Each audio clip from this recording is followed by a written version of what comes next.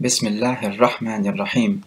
We were speaking about at-tasalsul of the attributes of Allah Jalla wa ala, and we mentioned the three madhahib. The first madhab saying that at-tasalsul in the attributes of Allah is not past eternal and neither is it future eternal. So in other words, Allah Jalla wa ala did not have his characteristics eternally in the past and he will not continue eternally in the future to have his characteristics. This is the madhab of the Jahmiyyah and some of the Mu'tazila. The second madhab of the Asha'ira is that Allah Jalla wa ala did not have his characteristics eternally in the past, but he will have them eternally in the future. So in other words, there was a point in time, or maybe even before time as we know it, that the characteristics of Allah began to exist. So in other words, for a long stretch of time, Allah Jalla wa ala was not the creator because he had not created anything. And then the third madhab of Ahl Sunnah is that his characteristics, just like Allah Jalla wa himself, his essence, stretch eternally in the past and eternally in the future. So that there was never a time when Allah Jalla wa was not creating. And likewise with all of his other characteristics. So we say his characteristics are past eternal and future eternal when it comes to his sifa dhatiyah, both the khabariyah and ma'nawiyah, which we have discussed before but also his sifa fi'liya in the general sense, meaning the jins of it, the type of it. So to explain this, his speech is a sifa fi'liya. He does it when he wills it. So for example, when he said to the fire, Ya nar, kuni bardan wa salaman ala Ibrahim.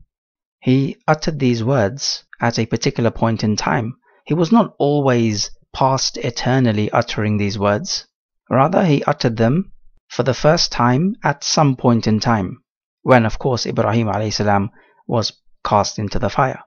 So the individual items of his speech can come about anew. This is the view of Ahl Sunnah. However, the jinsul kalam, the actual act of speaking, that is past eternal, so that he was always speaking.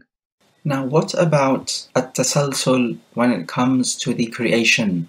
The creation going on for an eternity in the past. So, for example, this universe, this is the creation.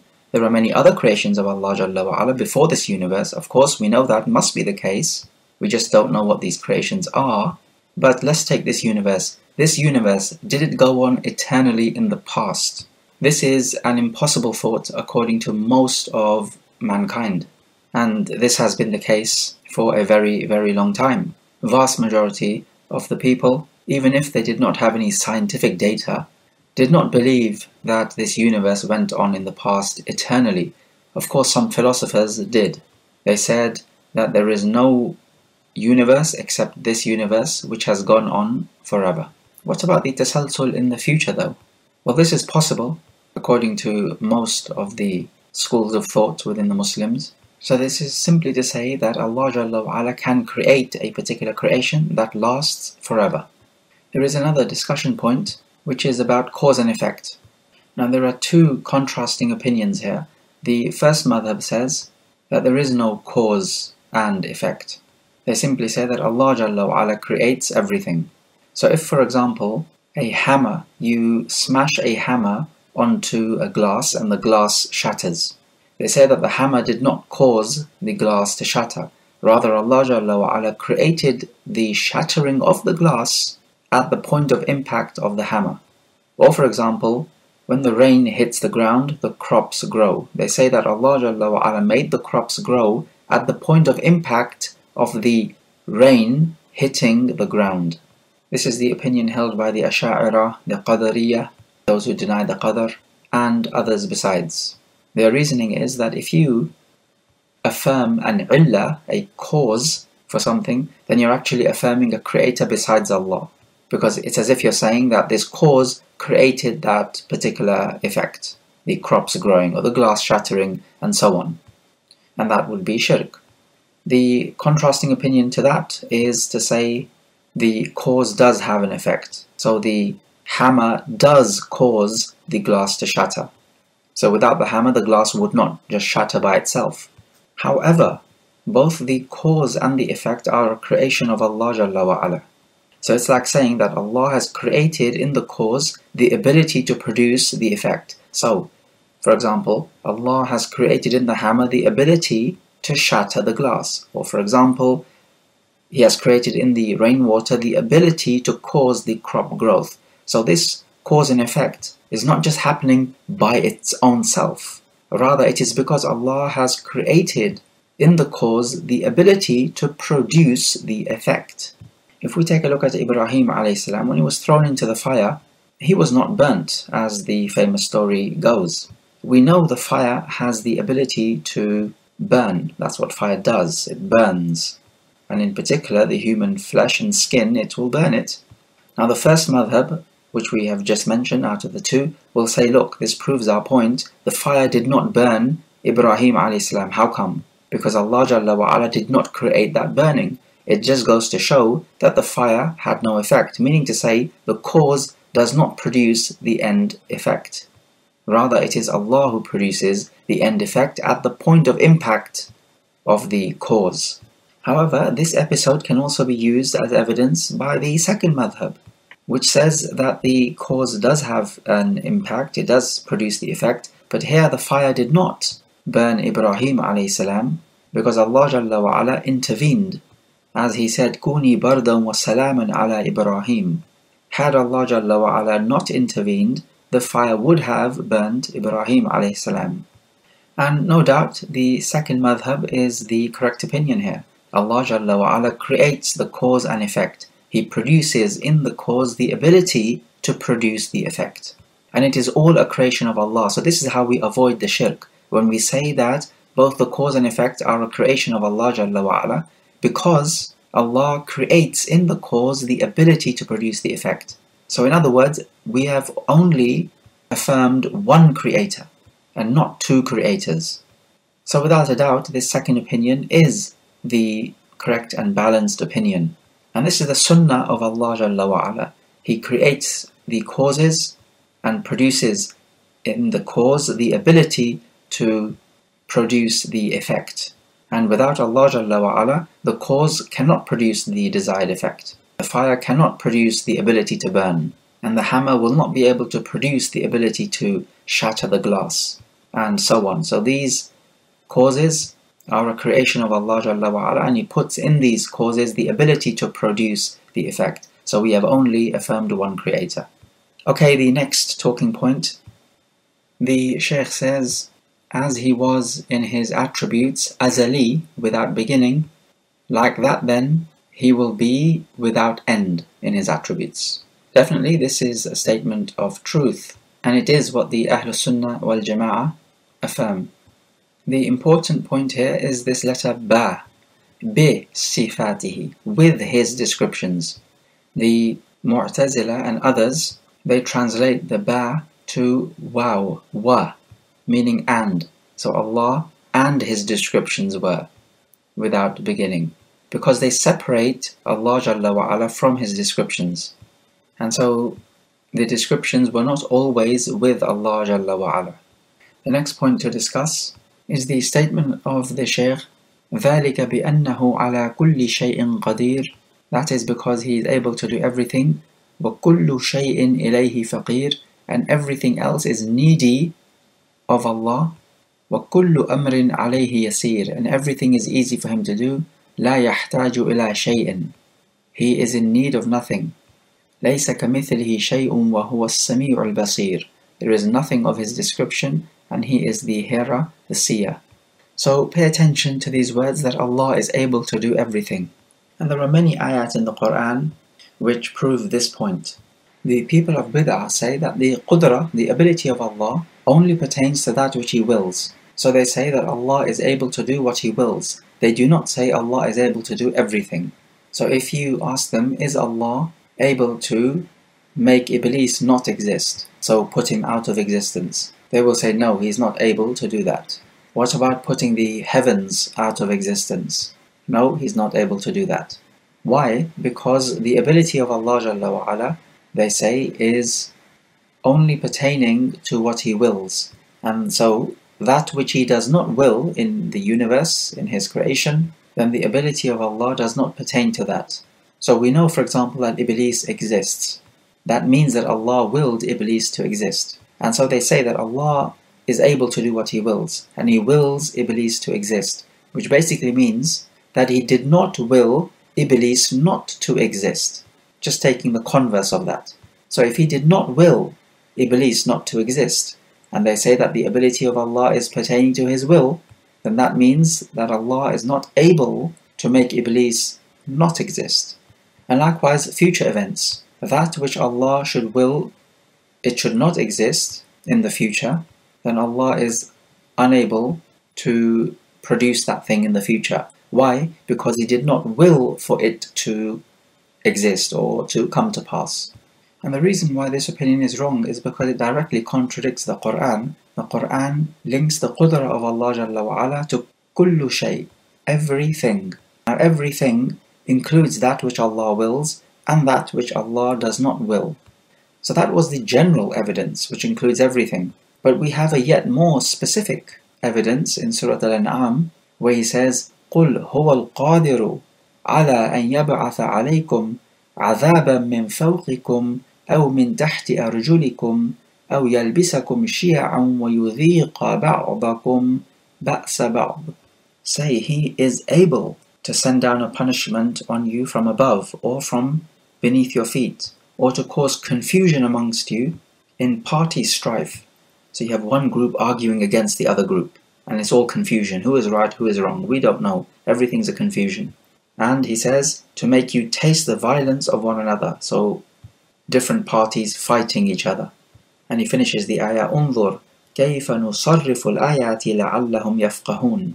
So see how variously we explain the signs that they may understand.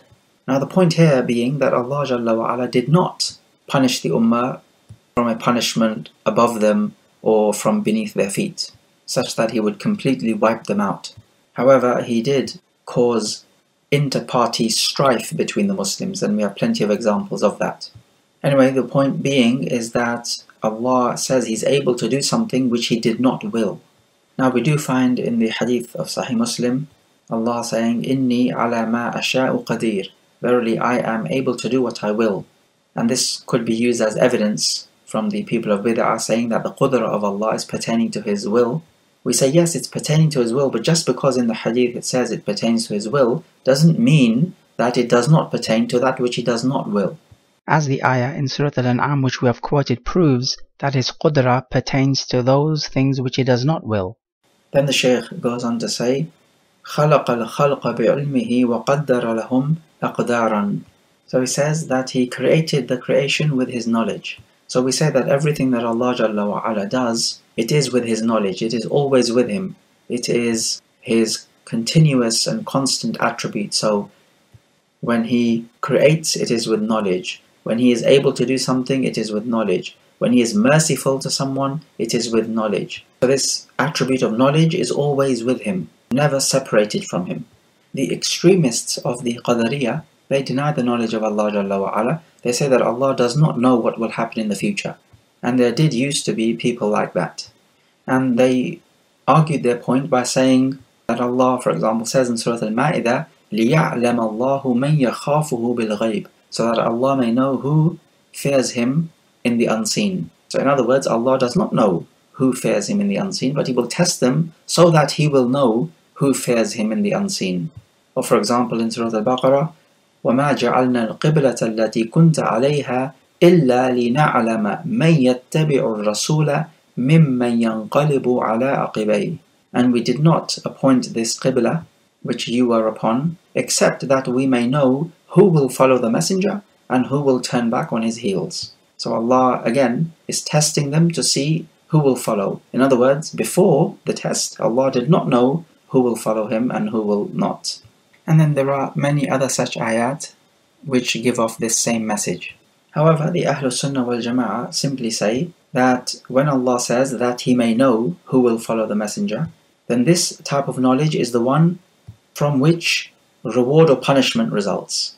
As for his knowledge before, then reward or punishment cannot result from it. If a teacher, for example, knows that the student is going to fail the exams, the teacher has no right to give a fail mark to the student before the student takes the exam. It's only after the student takes the exam and fails it that the teacher can give a fail mark, because then the teacher will be justified in giving the fail mark. And so likewise then is the knowledge of Allah. He knows who is going to follow the messenger and who will turn back on his heels, but reward and punishment cannot result from that, because you cannot reward or punish a person before they have done the particular action from which a reward or punishment results. So in the ayah, Allah Jalla wa ala made the Qibla as Baytul Maqdis and He did this so that when the Qibla is going to be changed from Baytul Maqdis to the Kaaba, then who will follow the Messenger and who will turn back on his heels? This is the test. Allah knows that already, but reward or punishment cannot result from Allah's antecedent knowledge, it can only result from Allah's subsequent knowledge. And here we can say there are two types of knowledge antecedent knowledge and subsequent knowledge. So the antecedent knowledge is knowledge before an event takes place, and subsequent knowledge is knowledge after the event takes place. So, for example, you know the sun is going to rise tomorrow. This is your antecedent knowledge. Then, when tomorrow comes and the sun has risen, and you know that the sun has risen, then again you have knowledge that the sun has risen, but this is your subsequent knowledge. So, knowledge after the event. And so these are two types of knowledge. But that leaves us with the question what is the evidence that Allah Jalla wa ala knows things before they will happen? Well, He knows, for example, when Yawm al Qiyamah will be. قُلْ إِنَّمَا عِلْمُهَا عِنْدَ اللَّهِ Say the knowledge of it is with Allah, meaning of Yawm al Qiyamah. That hasn't happened yet, but Allah knows it before it will happen. And in Surah Al Hadid, مَا أَصَابَ مِن مُصِيبَةٍ فِي الْأَرْضِ وَلَا فِي أَنفُسِكُمْ إِلَّا فِي كِتَابٍ مِّن قَبْلِ أَن نَّبْرَأَهَا إِنَّ ذَلِكَ عَلَى اللَّهِ يَسِيرٌ no calamity befalls the earth, nor in your own selves, except that it is in a book, meaning written down, before we bring it into existence. Verily, that is easy for Allah. So He knows and has written down all the calamities which will take place. And we say that Allah Jalla wa ala is always with His knowledge, because the Mu'tazila, for example, they say that Allah is knowledgeable without knowledge. He is living without life. He is the creator without the attribute of creation. So you see, they strip Allah Jalla of His attributes. That His attributes are not part of Him or always with Him. They say that knowledge has individual elements of knowledge. So after every new event, new knowledge is formed. So after every new creation, Allah has knowledge of that creation. So they say it's as if a new attribute of Allah Jalla of knowledge is produced with every individual item of knowledge. So it's as if Allah Jalla wa ala gains in knowledge.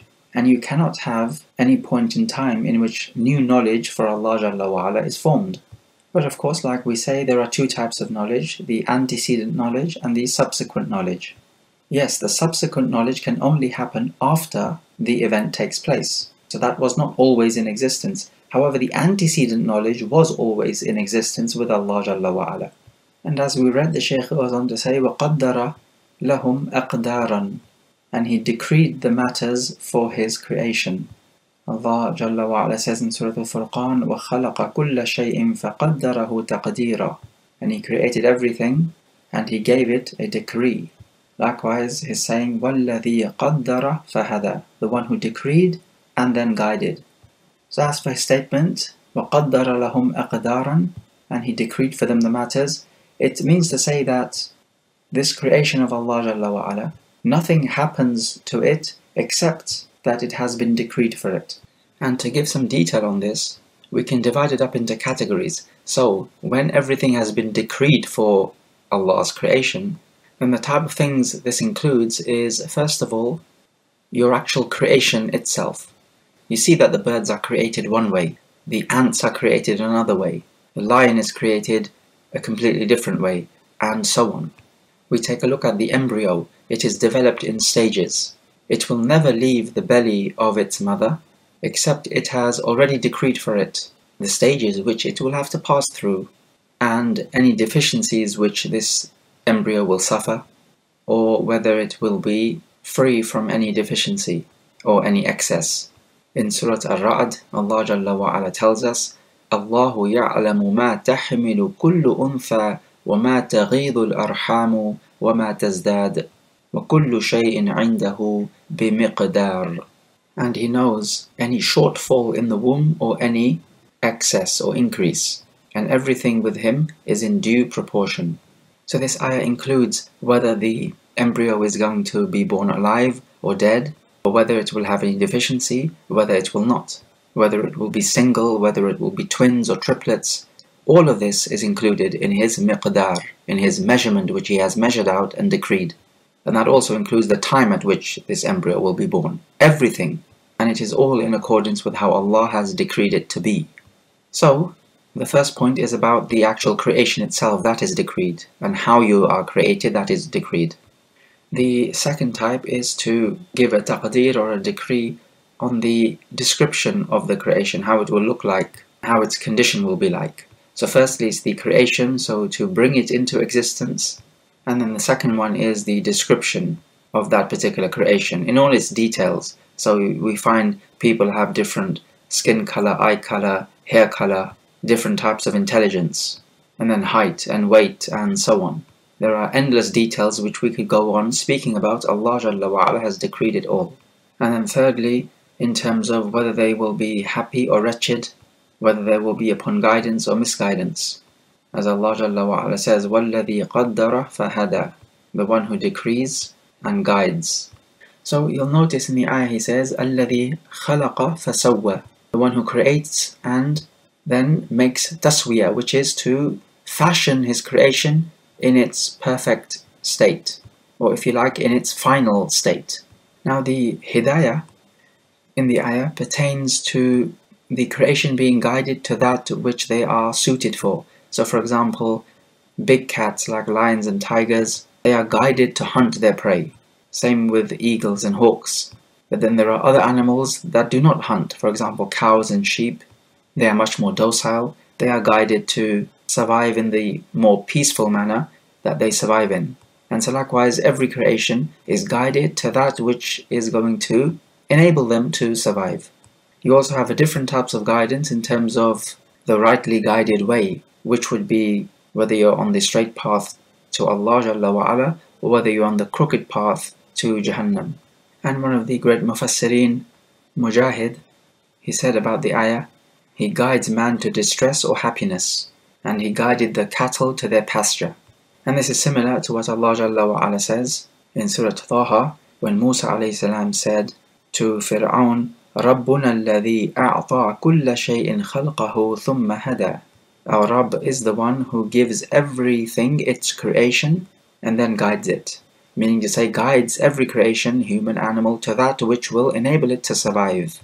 So just to recap then, when we say that he has decreed the matters for them, then firstly it means the actual creation, secondly it means the details of that creation, so their description, and thirdly it means guiding them. Now what does guiding them mean? Well first of all guiding them to that which will enable them to survive, and then also secondly guiding them in terms of being rightly guided towards the Sirat al-Mustaqim or not, and that applies to the human and jinn. It does not apply to animals, nor plant life. So from this statement of his, let's take some talking points First of all, the word qadar in the Arabic language, it means to prepare something for that which is fitting for it. So for example, if you have a soldier and you prepare this soldier for battle, because the soldier is fitting for the battle. And this is the general linguistic meaning, which we find in Surah Fussilat, وَقَدَّرَ فِيهَا أَقْوَاتَهَا فِي أَرْبَعَةِ أَيَّامٍ سَوَاءً لِلسَّائِلِينَ So he decreed, made taqdeer, in the earth, its provisions, its aqwat, in four epochs, equal for those who ask. Of course, the provisions for the earth are fitting for it. Then as for the more technical shara'i definition, then this is the secret of Allah Jalla wa'ala, which no one knows about except He. So neither an angel nor prophet knows about the qadr of Allah. As for its definition, it has been said that it is the prior or antecedent knowledge of Allah Jalla wa'ala about things before they happen and the fact that He writes it down in the Al-Lawh al-Mahfuz before He puts it into existence and it is His will which is implemented amongst His creation and finally it is Allah creating what He has willed. So in other words, this definition is made up of four stages knowledge, writing, will and creation and we need to talk more about these four stages of qadr in its proper place. But for the time being, we must know that the qadr of Allah Jalla wa has four essential ingredients as we have just mentioned. The second talking point is that when we speak about the qadr of Allah Jalla wa then we need to restrict ourselves to the text because we are speaking about a matter from the unseen. And the Prophet ﷺ said, إِذَا ذُكِرَ الْقَدَرُ فَأَمْسِكُوا When the qadr of Allah is mentioned, then refrain, meaning refrain from speaking. And without a doubt, that's true because too many people just make mistakes when it comes to the qadr, as there are far too many misconceptions. In fact, the hadith says, إِذَا ذُكِرَ أَصْحَابِي فَأَمْسِكُوا وَإِذَا ذُكِرَ الْقَدَرُ فَأَمْسِكُوا وَإِذَا ذُكِرَ النُّجُومُ فَأَمْسِكُوا When my companions are mentioned, then refrain. When the qadr is mentioned, then refrain. And when the stars are mentioned, then refrain because these are three areas people have misconceptions about, and if they speak the wrong words, then it is a grave matter. So, speaking about the stars, saying, Oh, well, we were given rain because of such and such a star, as was the common belief amongst the pagans, this is a grave matter. Or speaking about the companions, abusing them, or saying something wrong about them that will detract from their status, this is a grave matter. And likewise, speaking about the qadr of Allah, about which there are many misconceptions, refrain from speaking about it because it is a grave matter. So these are three sensitive issues mentioned in the hadith. And from the matters which throw people into misguidance when they speak about the qadr of Allah is firstly speaking about the actions of Allah using their own justification. And the problem with that is if he uses his own justification and his own rationale to speak about the actions of Allah, then he will be using his own past experience and comparing that to the actions of Allah. Because you cannot speak about certain actions being justified or trying to understand certain actions except by comparing them to what you already know from the actions of the creation. The problem with this, however, is that the perfection of the hikmah of Allah and the perfection of His justification cannot be reached through merely our own intellects. Our intellects have limits, and the wisdom of Allah does not have that sort of limit. Thus, we find if you speak about the actions of Allah using your own intellect alone, then you're bound to make mistakes. You cannot even begin to imagine how many subtleties there are that you have not taken into account, nor do you have the ability to take into account. Things you don't know and things you don't know that you don't know. There are so many subtleties. Allah Jalla grasps them all and we don't even grasp a fraction of them. We need to understand that our intellects are limited in that respect, as amazing as they may be. And we need to bear in mind that our frame of reference is limited. Time, place, and understanding. It's all limited. Because it could be that what Allah Jalla does, its wisdom shows up in a different time and a different place. Well, we cannot be every place in every time. We're limited to a particular time and space. Allah Jalla wa'ala is not. Not only that, but the third reference point, our own understanding and grasp, is limited. So it could be that what Allah Jalla wa'ala does, its wisdom is right there in front of us, but because of our own lack of comprehension, we cannot see it. So it's like hidden in plain sight.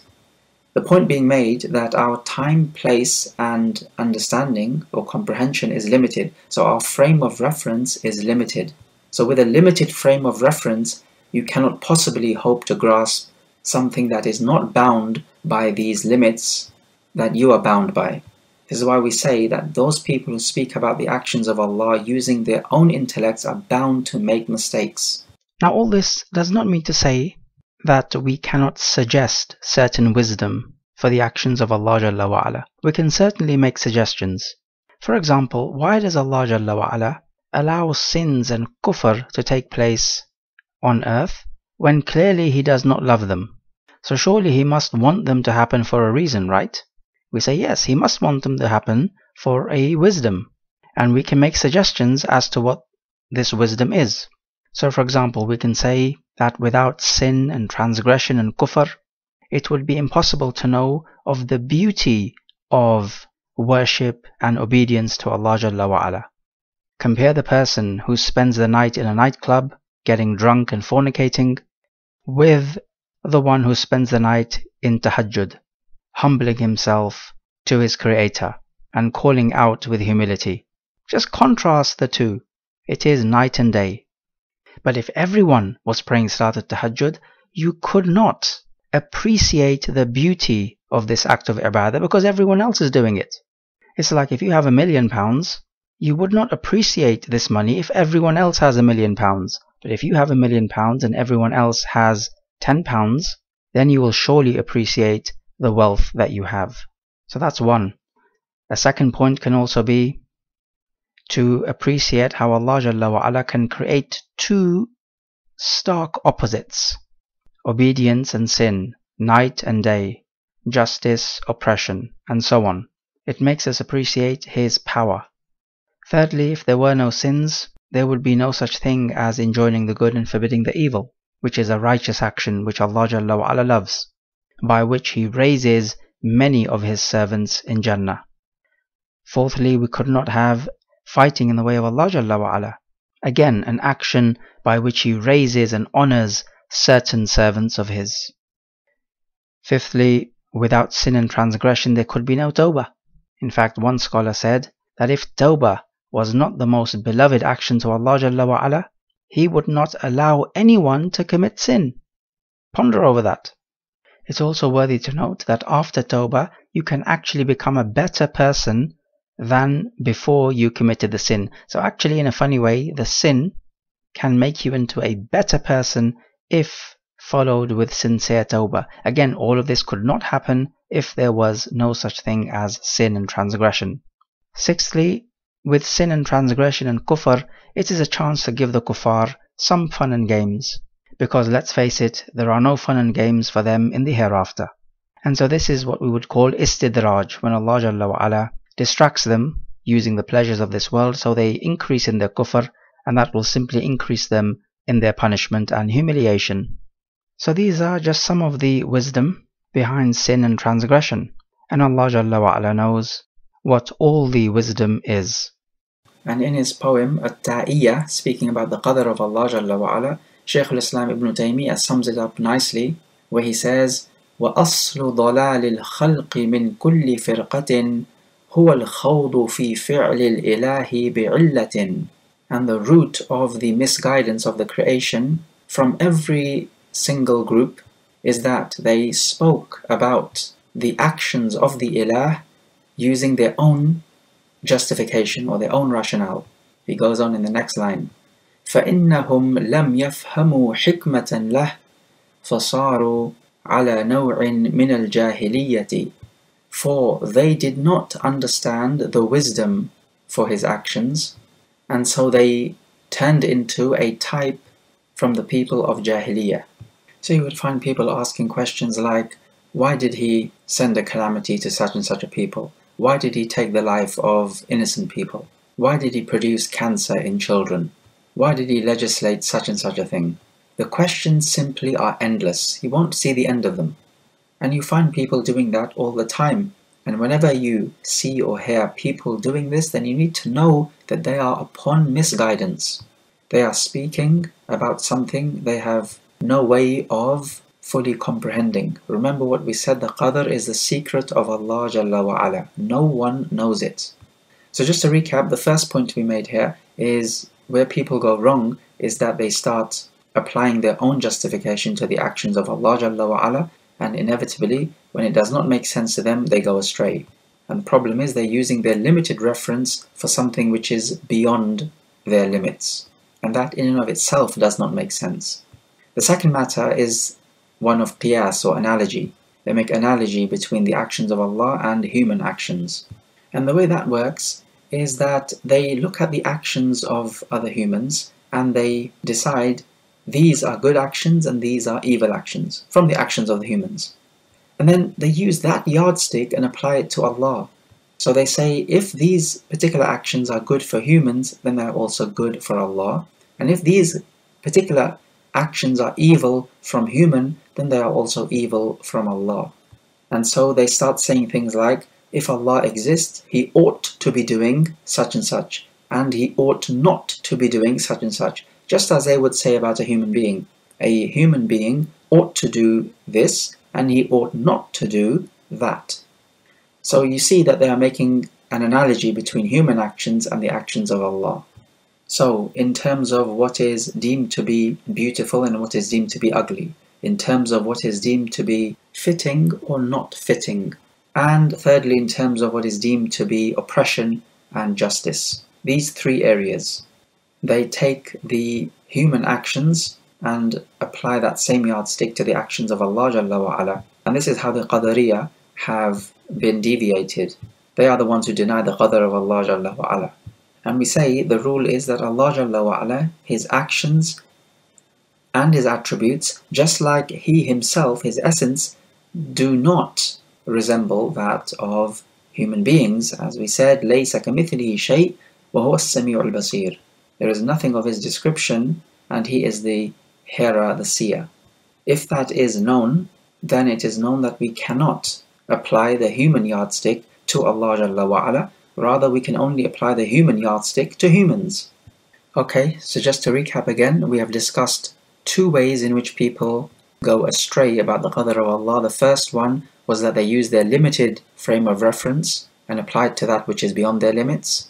Secondly, is that they make analogy between the actions of humans and the actions of Allah. And now we have a third point, which is that they may be reading the books of the people of knowledge, whom they trust.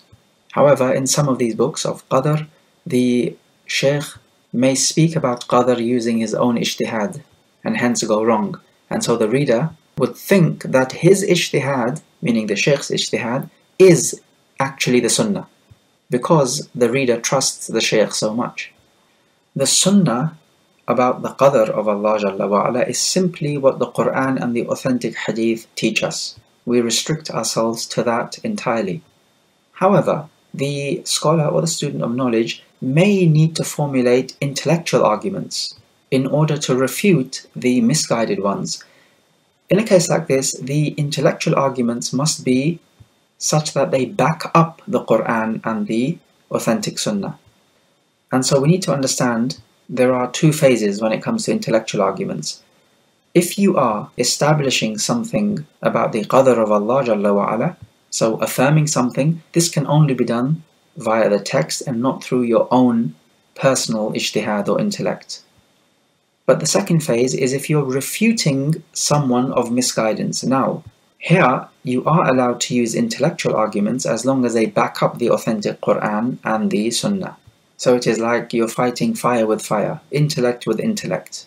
You are not affirming anything of the qadr of Allah using your intellect, rather, you are defending the qadr of Allah using your intellect. So the defense part, meaning the refutation against the people of misguidance in matters of qadr, this can be done using your intellect as long as your intellectual arguments are in agreement with the Quran and the authentic Sunnah. So they are, if you like, a backup argument. Okay, let us take a few review questions. Question number one.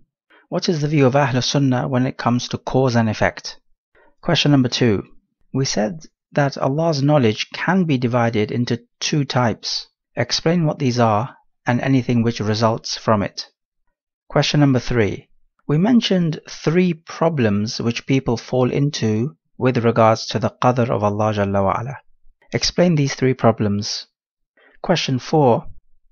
This idea of using rationality with respect to the qadr of Allah, we divided it up into two categories.